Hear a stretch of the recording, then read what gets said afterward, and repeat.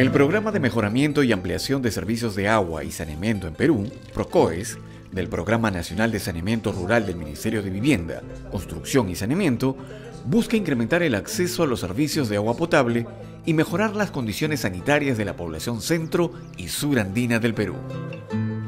El PNCR PROCOES se inició en 2010 en el marco de un convenio de financiamiento no reembolsable del Fondo Español de Cooperación para Agua y Saneamiento, administrado por el Banco Interamericano de Desarrollo. El programa contribuye con la disminución de la desnutrición y las enfermedades diarreicas, especialmente en niñas y niños menores de 5 años, protegiendo su salud y mejorando su calidad de vida. Desde el inicio, el programa evidenció poblaciones rurales sin servicios de agua y saneamiento o con sistemas deficientes que afectaban la salud de las familias, principalmente de la niñez más vulnerable. Tomábamos el río, de las sequías, de manantiales. Para nosotros era, claro, manantial muy limpio, pero no era clorado. Y era un problema para nosotros porque nuestros hijos se enfermaban.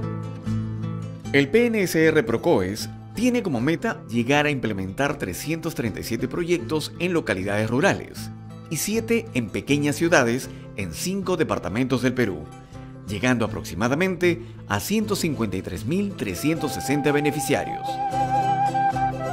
El programa implementa un modelo integral a través del componente de infraestructura, que construye sistemas de agua potable con lavadero multiuso y unidades básicas de saneamiento VS en cada vivienda, que pueden ser de tipo arrastre hidráulico o compostera. Y el componente socioambiental, que crea y fortalece capacidades en familias, juntas administradoras de servicios de saneamiento, JAS, y funcionarios municipales. Como fiscal yo tengo que fiscalizar a toda la Junta y asimismo también a la población en general. Esa es mi función que yo he recibido en los talleres. En las familias se fomentan las prácticas adecuadas de higiene, la conservación del agua, el cuidado del medio ambiente y el pago de la cuota familiar. Las JAS son capacitadas para garantizar la sostenibilidad de los servicios y las áreas técnicas municipales, ATM, se capacitan para el monitoreo y asesoría permanente a las juntas. El programa ejecuta sus proyectos bajo la modalidad de contrata, con empresas constructoras para la infraestructura y firmas consultoras para la gestión social. Asimismo, ha incorporado la modalidad de núcleo ejecutor, que promueve la organización comunal para elegir representantes que administren e implementen los proyectos. Este modelo fortalece la capacidad de gestión local y genera empleo para profesionales, técnicos y obreros en la comunidad. Estamos experimentando muchos, eh, muchas experiencias del manejo a la obra. Y en la obra estamos manejando bajo coordinaciones, estamos haciendo cotizaciones, pago de peones y el manejo de dinero, cómo se maneja el dinero y con quién se retira de los bancos, siempre con residente y tesorero, y así estamos trabajando. Con esta experiencia, se promueve la participación ciudadana con un enfoque intercultural, fomentando un rol protagónico en los pobladores. Además, con un enfoque ambiental se fomentan las actividades de prevención, capacitación y mitigación para el cuidado y protección de los recursos durante el ciclo del proyecto y la operación del servicio. El saneamiento más antes era totalmente desorganizado, o sea que no teníamos ni baño, ni letrinas, ni pozo, iban atrás del cerco, de la chacra, hacían las necesidades, ¿no?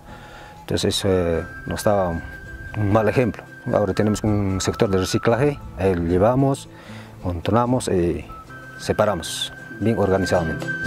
La equidad de género garantiza la participación de mujeres y hombres en condiciones igualitarias. En la formación de HAS y núcleos ejecutores, se fomenta la elección de mujeres en cargos estratégicos.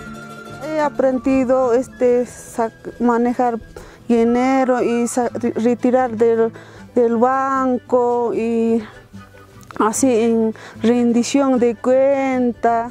Antes tenía mucho este, miedo a hablar con los vecinos, así en la casa. Ahora las mujeres tenemos que ocupar otros cargos, no tener miedo, nada y salir adelante. Las áreas técnicas municipales son capacitadas para el monitoreo y acompañamiento técnico a las HAS.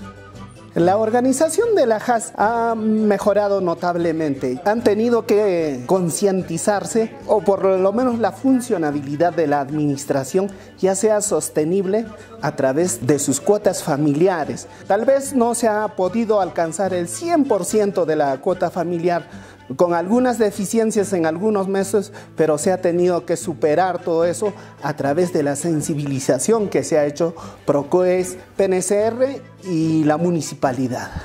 El compromiso es continuar con la implementación de los proyectos, interviniendo localmente con el sector salud y educación, brindando mejor calidad de vida a más peruanos con servicios de agua y saneamiento adecuados y asegurando la protección del medio ambiente para las futuras generaciones. Ahora que tengo mi ducha me voy a poderme bañar, me voy a poderme lavar tranquila yo y mi familia. Programa Nacional de Saneamiento Rural. Agua y saneamiento que cambian vidas.